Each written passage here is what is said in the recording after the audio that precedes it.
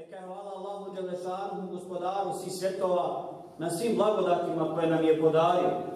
I neka su najlepši salavati i salami na posljednjeg Božeg poslanika i miljenika Muhammada sallallahu alaihi wa sallam, na njegovu časnu porodicu, plemenite ashabe i sve one koji slijede njegov put do dana sudnjega. Amin, ja rabbel alemin. Poštovana braćo, jedne prilike kako bileži imam Buhari u jednom hadisu od Usame ibn Zejda, došli su mušnici, mnogobosci na domak Medine i grupisali se u grupe i napadali muslimane. Pa je poslanik sallallahu alaihi wa sallam poslao plemenitog ashaba Usame ibn Zejda i nekoliko ensarija ne bili zaustavili te mnogobošce da napadaju muslimani. I kada su muslimani napali te mušrike, oni su počeli bježati. Međutim, jedan čovjek se sakrio ispod jednog drveta. Jedan nemusliman. Mislio je da ga muslimani neće vidjeti. Međutim, muslimani dolaze kod njega i podižu sablju da ga ubiju. I onda ovaj čovjek kaže Ešhedu en la ilaha illa Allah Ešhedu enne Muhammada Rasulullah. Prihvata tog trenutka islam. I onda ovaj Ensarija spušta svoju sablju. Dok Usami ibn Zeyd koji je podigao svoju sablju iskoristi svoju sablju i ubi ovog čovjeka. Dolaze kod poslanika sallallahu alaihi wa sallam. I sada moraju pitati kakav je propis Da li su ga smeli ubiti. I kaže, objašnjavam u same situaciju poslaniku i pričam mu šta se desilo. I onda ga poslanik pita, jesi li ga ubio poslije nego li izgovorio šehadet? Kaže, jesam, ali je, kaže, on izgovorio šehadet da ga ne bi ubio. Pa ga poslanik tri put pita, jesi li ga ubio nakon što izgovorio šehadet? Kaže, jesam i u same iznalazi izgovore. Kaže, jesam, ali on je iz straha da ga ne bi ubio i izgovorio šahadet. Kaže, ja mi ga ti. To jest, nisi ga smio ubiti. Nisi smio ubiti čovjeka, jer postojala je mogućnost da je on prihvatio islam. Iako je moguće da je on to izgovorio iz straha da bi sačuvao svoj život, ali čim postoji mogućnost, onda ga nisi smio ubiti. I ovo je hadis koji je osnova o jednom velikom grijehu koji se, draga moja braćo, nažalost i kod nas proširio, a to je bespravno ubijanje čovjeka muslimana od njegovog brata muslimana.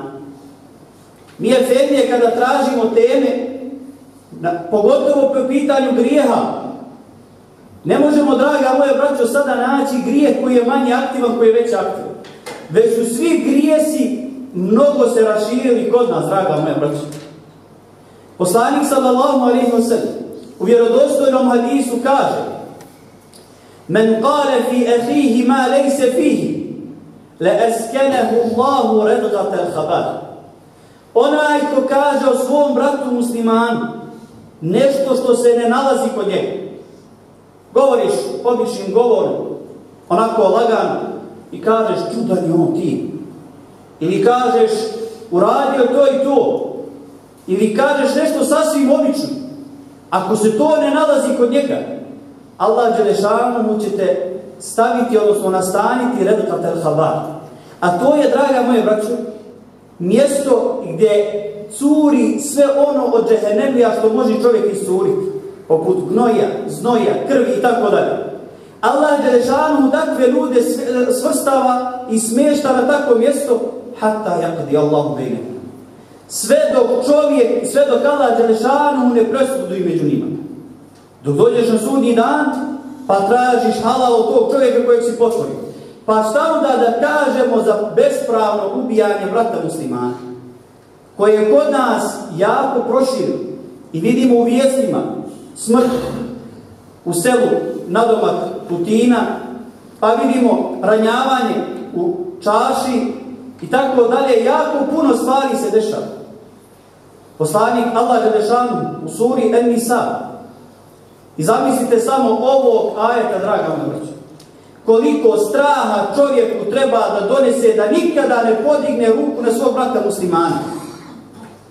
Kaže Allah Đelešanu وَمَنْ يَقْتُلْ مُؤْمِنًا مُتَعَمِّدًا Onaj ko ubije čovjeka muslimana namjerno فَجَزَاؤُهُ جَهَنَّمْ Njegova nagrada, ironično, njegova nagrada zasluga فَجَزَاؤُهُ جَهَنَّمُ خَالِدًا فِيهَا وَغَضِبَ اللَّهُ عَلَيْهِ وَلَعَنَهُ وَعَدَّ لَهُ عَذَابًا أَلِيمًا Zamislite čovjeka koji ubije brata muslimana bez prava koje su njegove kazne. Allah Đelešanu nabraja, dovoljno je bilo da kaže džehennem. To mu je dovoljno kazne. Ali Allah Đelešanu nabraja pet stvari. Džehennem, halidem fiha. Vječno ostaju u njemu. Nema da uđeš u džehennem pa da izađeš. Nego vječno ostaju u njemu. Wa gadib Allahu alih. I Allah će se na njega nasrditi. Wa la'anehu. I prokleće ga Allah Đelešanu. Njegovo proklestvo je na takvog čovjeka وَأَعَدَّ لَهُ عَذَابًا أَلِيمًا I pripremit će mu bolnu patnju. Čovjeka koji bespravno ubije čovjeka muslimana. Musliman ubije, šta to znači bespravno? Imamo, draga moje braću, i pravno ubijanje čovjeka muslimana. A to je, Allah Đelešanu mu je propisao neke kazne na ovom je svijetu za neke grije. Kao što su. U hadisu je došlo tri kazne. La ihillu demu mri'i muslim illa illa bi ihda thalath. Nije dozvoljena krv brata muslimana osim u tri situacije. Esayyibu zani, čovjek koji je bludnik a oženjen ili žena koja je bludnica a udata. Takva takva osoba se kamenuje do smrti. Dalje kaže poslanik sallallahu alaihi sallam en nefsu bi nefs. Odmazda, krvarina. Kada ubiješ nekoga bespravno, pravno je da se ti ubiješ to je da tebe neko ubije. Ali to sve određuje šerijatska, šerijatska policija i šerijatske sudije u državama u kojima postoji. I zadnja stvar, el mufarakatu li džemana. Onaj čovjek koji se otpadne od islama. I to su samo neke od kazni, to jest neke situacije kada je dozvoljeno ubiti čovjeka muslimana. Ako sud, tako odluči. Sve ostale situacije bespravno ubijanje čovjeka muslimana. Kaže, pošao jedan čovjek, bilo je raznih situacija kada su se muslimani i za vrijeme ashaba imali svoje nesuglasice. Pa jedne prilike pošao jedan čovjek sa Aishom radijallahu anhu, Anha, Zubeirom i Talhom, koji su krenuli da se mire sa drugim muslimanima. I tada je postajala jedna velika bitka na Reketul Džabel, jer je Aisha radijallahu anha išla iz Medine do Šama na kamili, da, se ne, da, se, da bi se pomirili sa Ali. I kaže, jedan čovjek je izvadio, sajf, izvadio mač i krenuo sa njim. Pa ga susreće ashab po imenu Ebu Bekrete. Nije Ebu Bekr, nego Ebu Bekrete. Kaže, gdje si krenuo? Kaže, želim pomoći muslimani. Pa mu ovaj čovjek kaže, ovaj ashab, tako mi Allaha, čuo sam poslanika, sallallahu alaihi wa sallam, koji kaže, I da taka muslimani, kada se muslimani nađu u dvoboju, fel qatilu wal maktulu finar, i onaj koji želi ubiti, i onaj koji je ubijen, obojice ću vatru. Pa su sabi pitali, dobro, onaj koji je ubio, ali zbog čega onaj koji je ubijen? Pa kaže, zbog toga što je bio brižljiv i trudio se da ubije svog brata muslimana. I zbog toga će on ući u vatru jako je puno hadis i aje koji govore o ovom velikom grijehu, jednom od najvećih grijeha. Allah Želešanu u Kur'anu kaže وَالَّذِينَ لَا يَدَعُونَ مَعَ اللَّهِ إِلَّهًا آخِرٍ Oni koji Allah, osim Allaha Želešanu drugog Boga ne smatraju. وَلَا يَقْتُلُونَ النَّفْسَ الَّتِي حَرَّمَ اللَّهُ إِلَّا بِالْحَقِّ I koji bespravno ne ubijaju muslimani. وَلَا يَزْنُونَ I oni koji ne budiće. Allah Želešanu navodi širk o kojem smo govorili, rekli da je to najveći grijeh. I odmah poslije njega navodi bespravno ubijanje muslimana. Postoji, postoji nekoliko situacija kod nas koje su možda još aktivnije. A to je da nekada se muslimani šale ili nekada se tuku sa nožima ili tako dalje. I zato poslanik u jednom hadisu jako lijepo objašnjava. I kaže onaj musliman koji podigne svoje gvožđe, oružje, bilo koju vrstu oružja, e, pištol ili, e, ma, ili mač ili nož, bilo šta, na svog brata muslimana, sve dok ne spusti to gvožđe i svoju ruku, meleki donose prokletstvo na takvog čovjeka. Ali poslanik ovdje kaže jednu vrlo zanimljivu stvar, što je kod naših starih bilo poznato. Kaže, mazihan evo en jaktule. Šalio se on ili želio da ubije. Zabranjeno je potezati bilo koje oružje na brata muslimana. Jer poslanik kaže, proklinju ga meleki dok je to vožde podignuto. Zamislite, draga moja braćo, proklinju ga meleki. Ima li veće kazne za čovjeka nego da, nego da ga proklinju meleki? Čak poslanik sallallahu alaihi wa sallam također u vjerodostojnom hadisu kaže La jahillu li muslimin an jarva'a muslima. Nije dozvoljeno musliman da zastrašuje ili plaši musliman. Da ga uplašiš. Napraviš neku zamku da bi ga uplašio. Nije dozvoljeno bratu muslimanu da uradiš to. Jer poslanik sve ove stvari označava ili definiše kao nepravdu prema bratu muslimanu. Bilo koji od ovih stvari, da li ga ti ubio, da li ti njega plašio ili bilo što od toga, Allah Đelešanu, odnosno poslanik, evo definiše ovo kao nepravdu. I čak je, draga moja braća, ubijstvo bespravno, mnogo teže čak i od ogovaranja. Zbog čega? Zato ti kada ubiješ osobu, više nema pravo, odnosno nema mogućnost da ti ona halali. Dok kada neko ko govoriš ili potvoriš, imaš još vremena da odeš i kažeš halali. Pogriješio sam. Da doviš Allahu Đelešanu. Ali kada ubiješ čovjeka bespravno, onda si nanio veliko zlo i veliku nepravdu. I mi Efendije se trudimo da razne ove devijacije popravljamo. Međutim, ne mogu, nisu svi ljudi u džamiju. Ne dolaze svi ti ljudi u džamiju. I zato je odgovornost kod svih nas, draga moja vrća, da ove devijacije koje se pojavljaju po pitanju svih velikih grijeha, da ih mi liječimo. Nemojmo, braćo, okrenuti glavu i reći, ne zanima, to nije moja stvar. Pitanje razvodićavanja, koje je sada uveliko počelo kod nas, pitanje širka, pitanje sihra, pitanje bespravnog ubijanja, sada više, draga moje braćo, nema da se potuku, da odmere snagi. Već se sada uvijek kada se tuče, tuče na kvaru i tako dalje. Međutim, sve je to zabranjeno. Ne postoji stvar koja može biti toliko vrijedna da se ti potučeš sa nekim bratom muslimanom. Još pogotovo ako je bespravna stvar. I zato moramo biti jako bazivni. Poslanik sallallahu alaihi wa sallam u drugom hadisu kaže Qatlu nefsi leti haram Allahu illa bil haq ehvanu ala Allahi min zavali. Kaže da ubiješ čovjeka muslimana bespravno. Lakše je kod Allaha Đelešanu nego da cijeli dunjalog nestaje. Kreneš redom, rušiš sve džamije, rušiš sve što je muslimansko, rušiš kjabu. To je lakše kod Allaha Đelešanu nego da ubiješ čovjeka muslimana. Da podigneš ruku na njega.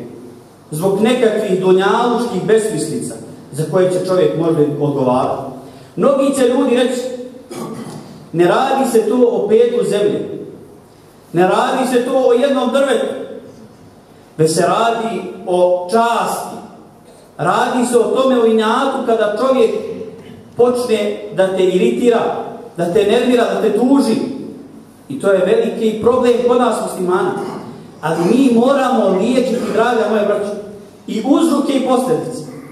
Moramo pričati muslimanima da je njihovo ono što je njihovo. Ne smiju uzimati tuđe. A da posljedice ne možemo liječiti bez uzroka. Ne možemo vikati ovome, nemoj da podižeš ruku, a ovaj ga nervira. Već moramo djelovati i sa uzrocima i sa posljedicama. Da liječimo sve, to, sve te stvari. Kako bi naše muslimansko biće bilo čisto, drago nam reći. Kako bi mogli mi da napredujemo, kako ne bi morali da našu energiju usmjeravamo u totalno pogrešnom pravcu. Da neke banalne stvari rešavamo koje su sitnice, dunjaluške sitnice. Da rešavamo i da neke krupnije stvari zapostavljamo zbog tih stvari.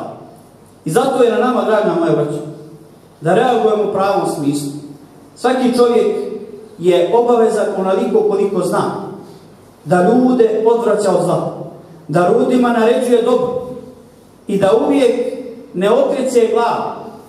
Imali smo situacije, a vidjeti, neću sada da komentariše, kada ljudi imaju prilike da pomognu nekom, da razvade nekoga, međutim oni se pomogu, da zaštiti ima sebe. I to nije pitanje samo ovog ubijanja, to je pitanje svih ostalih grijeha.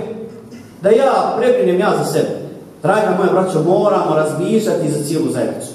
Ne smijemo biti sebični. Hoćemo mi nositi samo naše grijehe. Ali zamisli ti da ti nekom tvojom riječu okreneš nekog brata muslimana, da počne da klanja. Zamisli tvoje nage.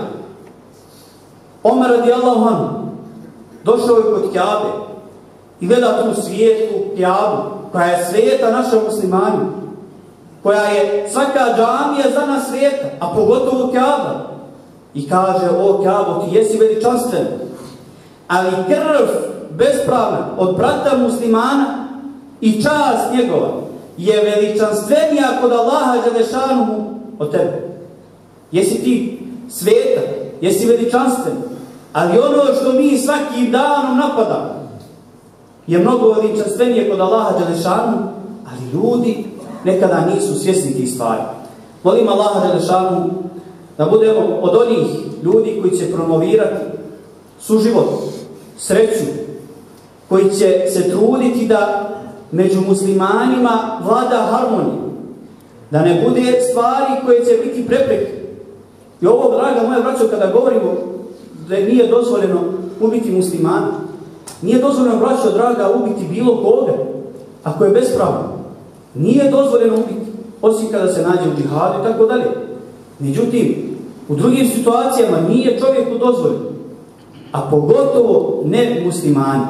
Molim Allaha Đelešanu da ove riječi budu dokazom za nas, a ne protiv nas, da budemo od onih ljudi koji će crpiti pouke i poruke iz ovoga i koji će se truditi da njihova zajednica živi u suživotu, u harmoniji, bez ikakvih svađa, bez ikakvih prepirki. بارك الله لنا ولكم في القرآن العظيم ونفعني وإياكم بما فيه من الآيات والذكر الحكيم أقول قولي هذا وأستغفر الله لي ولكم فاستغفروه إنه هو الغفور الرحيم